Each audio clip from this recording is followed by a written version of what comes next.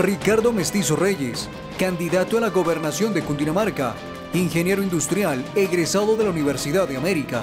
Experiencia en desarrollo de proyectos mineros. Fue delegado del Consejo de Bogotá ante el Fondo Rotatorio de Vivienda Distrital. Dirigente gremial y miembro de juntas directivas del orden departamental y nacional. Delegado de la Contraloría General de la República. Delegado de la Asamblea Departamental.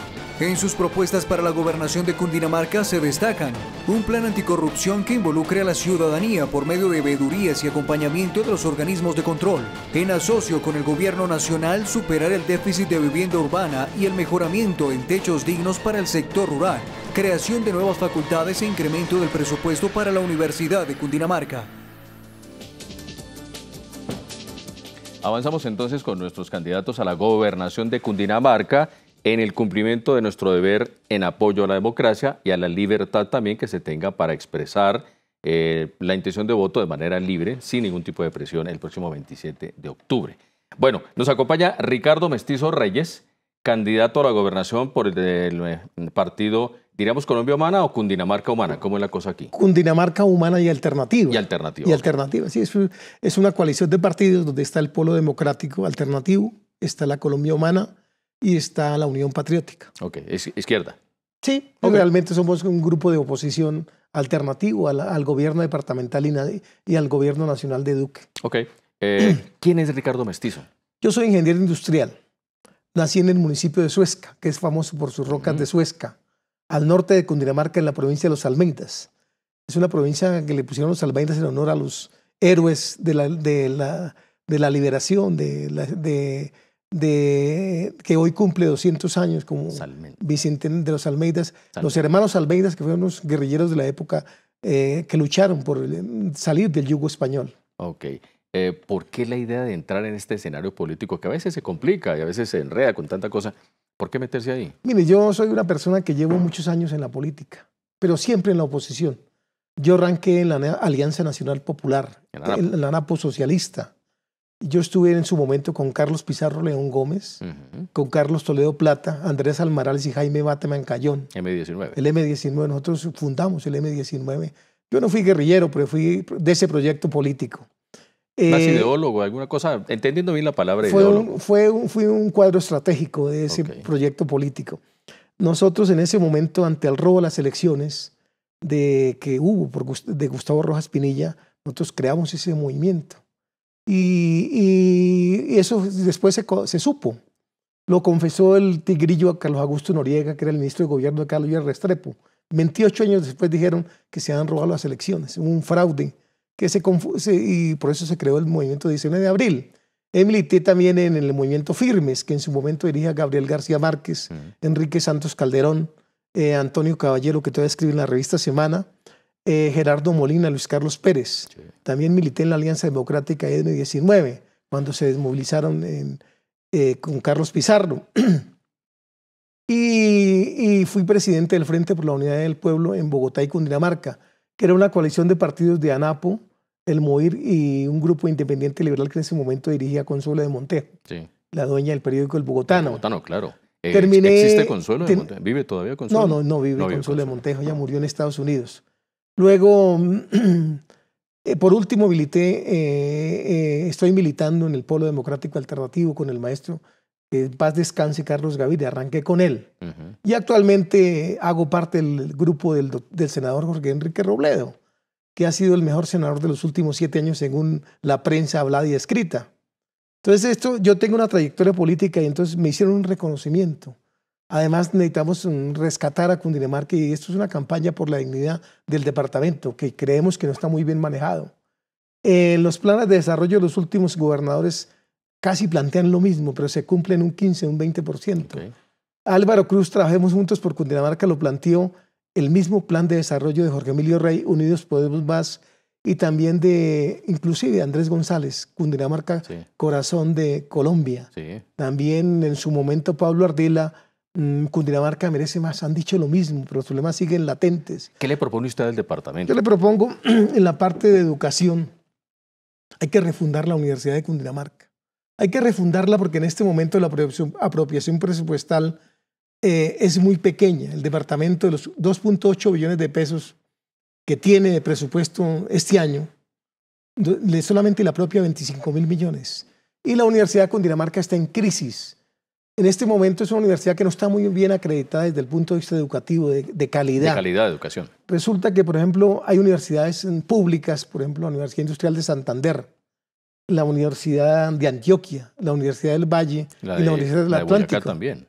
La de Boyacá, Uniboyacá, la pedagógica de, Boyacá, eh, donde hay, hay mejor calidad, hay, hay nuevas facultades. Aquí más bien hemos decrecido. Se acaba de acabar la, eh, de la, universidad, la facultad en Chocontá, la extensión. en Zipaquirá solamente existe una facultad de música. Afortunadamente, en Zipaquirá, en mi plan de gobierno y mi programa de gobierno, eh, hay un lote que donó el Consejo Municipal y necesitamos construir la, la sede de la Universidad de Cundinamarca, nuevas facultades, más aporte presupuestal, que hayan más, capacitación y hayan más, más mm, posgrados. Y además de eso, que eh, hacernos acompañar de gente que esté preparada en doctorados para que la Universidad de Cundinamarca salga adelante. Inclusive en este momento acaban de elegir al rector, Adriano Muñoz. Y el rector pues tiene problemas con Procuraduría, tiene ya un fallo en primera instancia su Consejo Superior en este momento está investigado por la Fiscalía. O sea, en Cundinamarca es un departamento eh, donde hay corrupción de todo tipo. A propósito del tema de corrupción, porque creo que casi todos han planteado el tema eh, eh, que, está, desde su punto de vista, cómo está afectando ese tema de corrupción al departamento. Incluso le voy a poner de una vez el tema sobre la mesa, volteo de tierras, que creo que todos se han referido a las al En este momento, el candidato a la gobernación, el doctor Nicolás García, de la maquinaria, ¿no? es el pupilo de Álvaro Cruz que hoy está preso. Es el pupilo de él, ¿no? Hoy está preso y está, tiene casa por cárcel. Fue condenado por un juez de la República. También está Jorge Emilio Rey, que es su jefe de debate, ¿no? Es una, una persona que es un gobernador que ha recorrido, recorre mucho el departamento. Dice que hablando con la gente, es haciendo campaña política. Entonces, mire, él está acusado por la Procuraduría y por la Fiscalía. No lo digo yo, lo dijo el senador Carlos Fernando Galán, hoy candidato a la alcaldía lo dijo eh, Daniel Coronel de la revista Semana, la Unidad Investigativa del Tiempo, el espectador Joy Ackerman. Todo el mundo sabe de ese tema. Él cuando fue secretario de gobierno en, Mosquera, se prestó para que los concejales y, defendiendo a su, a su, en ese momento su jefe que era alcalde de Mosquera, Álvaro Rincón, que estuvo presto tres años, pues se prestaron para volteo tierras. Eso es de conocimiento público, todo el mundo lo sabe. Han hecho volteo tierras en Facatativá, en Funza, en Mosquera, en Cota, hay 31 municipios alcaldes investigados. Y, no están condenados, lógicamente que no están condenados, pero hay unas investigaciones muy serias y muy contundentes que hacen que eso haya volteo de tierras en Cundinamarca, la cual eso es mejor negocio que la coca. Lo que compran por metros lo venden por hectáreas, con grandes constructoras. Ahora, el departamento tiene problemas con el PAE, con el Plan de Alimentación Escolar, donde ha habido corrupción. Cundinamarca se volvió un departamento muy corrupto, casi a la par con Córdoba y con Cesar y La Guajira. O sea, y además eh, es también de conocimiento público, que todo el mundo lo sabe y todo el mundo lo asegura, que los alcaldes que eligen cada cuatro años, más o menos 70, 80, terminan siendo los nuevos ricos del departamento. no solamente con comisiones, sino son, plantean sociedades de economía mixta donde hacen negocios. Todo el mundo conoce eso. Aquí hay presupuestos muy grandes. Por ejemplo, Tocancipá maneja un billón de pesos en los cuatro años. Eh, casi eh, Chía, Cota, municipios muy ricos, pero que no se ven las obras. Y hay un deporte en Cundinamarca que la gente le lleva la cuenta de lo que los alcaldes sustraen de los dineros públicos y aparecen con nuevas casas, nuevos carros. Hay una mafia en el departamento, hay un problema de corrupción latente y real. Ahora lo están investigando y muchas veces se tapan con la misma cobija, lo están investigando la Fiscalía, la Procuraduría, y ha habido casos donde han, de pronto ya han fallado. Caso del Rosal. Eh, se están investigando pueblos tan pequeños como Nemoconza, Cayetano. Bueno, son 31 municipios. Ricardo, eh, pasemos a otros elementos importantes de esta conversación y tiene que ver con eh, ya es, aspectos como infraestructura, porque parte de todo esto también la preocupación en el departamento es vías, cómo se van a conectar con Bogotá. ¿Qué plantea usted? Antes de las vías quiero comentarle algo. Cundinamarca antiguamente había el Partido Liberal que orientaba a Luis Carlos Galán Sarmiento, Alfonso López Miquels en el MRL. Gente importante que tenían doctrina. Eran, no tenía diferencias, pero eran personas que tenían un criterio de partido, eran ideológicos. Y el Partido Liberal, el Partido Conservador igual con Álvaro Gómez Hurtado, con Miguel Santamaría. Había líderes. Había líderes. Mm. Y así tenían vocación de servicio. En Cundinamarca lo que hay es el Partido de los Negocios, que en este momento lidera Nicolás García, que son el Partido Liberal, el Partido Conservador, Cambio Radical y la U. Ellos están apoyando a, a Nicolás porque se dedican a los negocios, no tienen vocación. Ahora, frente a la infraestructura, yo estoy totalmente de acuerdo con que hay mejorar, que mejorar la movilidad en el departamento. No se justifica que de Suacha a Bogotá, la gente que es empleada o son trabajadores o son estudiantes, se gasten cinco horas en un bus. Necesitamos la fase 2 y 3 de Transmilenio, que en buena hora la, van a ejecutar. Necesitamos que se haga la LO, la, la longitudinal de Occidente. de Occidente. Llevan 56 años proyectándola. Todo eso articulado con el metro de Bogotá. Porque es que el metro de Bogotá arrancaron a hablar, Carlos Sánchez Santa María hace 77 años. Arrancaron a hablar del metro de Bogotá. Necesitamos articular la movilidad, ampliar la, la autopista, la séptima. Porque es que se está gastando, yo, soy, yo resido en Chía, se está gastando uno de Chía. ¿Cuánto se gasta usted allá? A, a 170, dos horas. Dos horas. Dos horas. Déjame el tema un segundito, vamos a una muy breve pausa y seguimos hablando de infraestructura. Eh, tenemos que hablar también de Soacha, los municipios que cercanos a Bogotá y en general lo que se requiere para el departamento. Así que muy breve pausa, regresamos en segundos.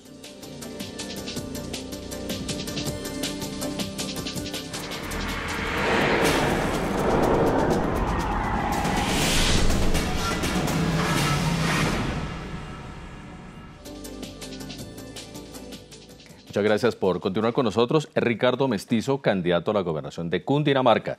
Eh, Ricardo, estábamos hablando antes de la pausa de infraestructura. El tema de Chía, Cajicá, no vamos a descuidar el tema Suacha. Por el norte, ¿cómo estamos a ver cómo se mejora esa relación con Bogotá?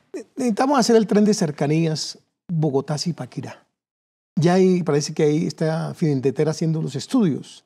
Pero eso, eso requiere... Hay que cambiar la línea hay que cambiar la línea. Una tercera, una, tercera, una, una, tercera, una tercera línea. Y ponerla más ancha. Está más de 80, ancha. eso es 1.20. Internamente es 1.20. Sí, como para un tren eléctrico. Para un tren, un tren eléctrico.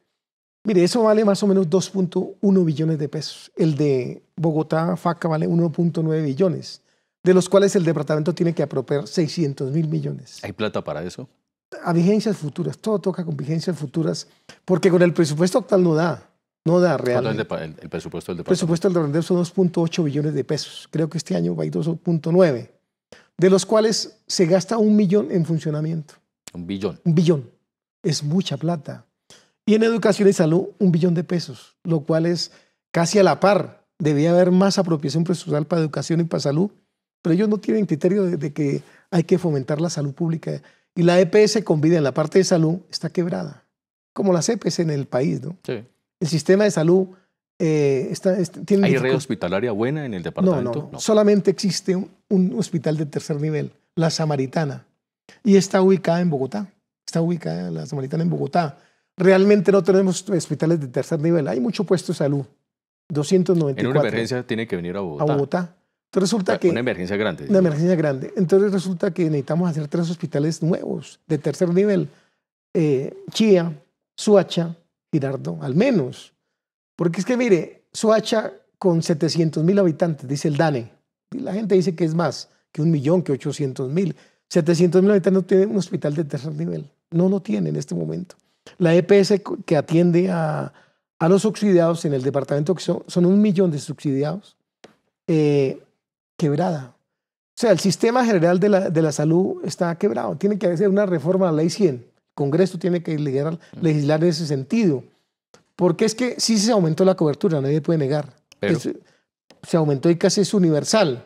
Pero realmente hay una atención muy mala. Y las EPS, como es un negocio, la atención es mala, eh, se quiebran, mm, bueno, y se acaba de quedar Cruz Blanca, se acaba Salucó quebrado. Ven, eh, eh, Ricardo, una, una cosa que no quiero dejar pasar. El tema de Suacha, porque tiene mucha incidencia sobre Bogotá.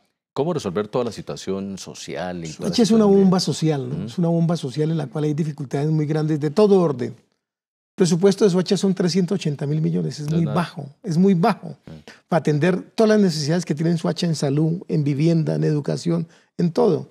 Soacha tiene un problema muy grave también que el 23% de los barrios están sin legalizar. Son seis comunas y una comuna rural están sin legalizar, entonces no tienen derecho a servicios mucha públicos. Mucha persona reinsertada también allí. Mucha persona reinsertada. hay 60 mil venezolanos. Es el municipio en Cundinamarca que recibe más venezolanos. Ahora estamos en un estado libre y la gente se puede movilizar y la locomoción es perfecta. Pero realmente hay problemas. Soacha tiene que tener por parte del departamento de Cundinamarca, así lo propongo yo al departamento, un plan especial donde participe la nación y el departamento con recursos. Esto es con recursos. Un escenario para el posconflicto, donde haya mejores colegios, mejores polideportivos, mejor, mejor universidad, mejores hospitales. Eso es metiéndole platica, porque con el presupuesto de Soacha no da, no da y tenemos una bomba social. Hay un desempleo del 15%. le iba a preguntar, ¿cómo está Un desempleo del 15% sin contar los informales. Esto puede llegar al 30%. Claro. Eh, además de eso, era un municipio industrial, ya no lo es. Ya tiene dificultades, hay mucho problema con la apertura. Hay un par de municipios fuertes. Eh, bueno, Sesquilo usted me habla ahora, pero Tenejo, eh, Tabio, Tenjo. Bueno, ahí hay dos o tres municipios muy industrializados, ¿o no? Sí, sí, sí. Okay. Y Cota. Entonces resulta que Soacha necesita un capítulo especial, necesita apoyo económico, apoyo presupuestal y que de verdad, que de verdad el gobierno nacional y el gobierno departamental le pongan los ojos. Porque es que la situación es muy grave, muy grave en Soacha. Eh, eh, como le dije anteriormente, un desempleo del 15%, una informalidad casi del 40%, eh, mucha, mucha juventud metida en las drogas porque son muchachos que los llaman ninis, ni estudian ni trabajan. Ven, ¿dónde, ah, Ricardo, dónde, cómo ubicar esas zonas estratégicas en materia agropecuaria? Que es un departamento tan rico. Es un departamento que era antiguamente agrícola, ya ha bajado mucho la cobertura de un 19% a un 8%. ahora por la región del Tequendama, que es muy Sí, es una zona cafetera. Sí. Entonces resulta que hay problemas porque se están importando 14 millones de toneladas de alimentos. Entonces han quedado por fuera los paperos, todavía siembran, pero los paperos, los cafeteros, los lecheros, todos los sectores económicos los han, los han arrumado realmente. Es una forma de decir. Ubaté. Ubaté también tiene problemas con la leche. Eh, tiene problemas, lógicamente, que todavía producen lo único que está más o menos bien es los cultivadores de flores. Ellos sí, porque este, exportan el 100%. Se insertaron en la economía mundial hace mucho tiempo, desde que arrancaron. Arrancaron con materia de exportación, las flores. Pero el resto, los, agricultores están muy mal. Uno anda por la zona cafetera de, de Sumapaz y, del Tequendama y encuentra la carga a 750 mil pesos. Eso no les da sin los costos de producción. Igualmente sucede con los paneleros. Tienen dificultades grandes. ¿Por qué? Producto de los tratados de libre comercio están importando azúcar y etanol. Y montaron megatrapiches en el valle muy grandes. Entonces lo están sacando, lo están quedando por fuera. O sea, la parte agrícola solamente, además con un agravante, la, gobernación le ha puesto cuidado a la Secretaría de Agricultura. La, región del Río Negro. Esa es la, región más olvidada del departamento. Yo estoy proponiendo en mi programa de gobierno que se, se, se rectifique y se pavimente y se arregle la vía Pacho, La Palma, Yacopí.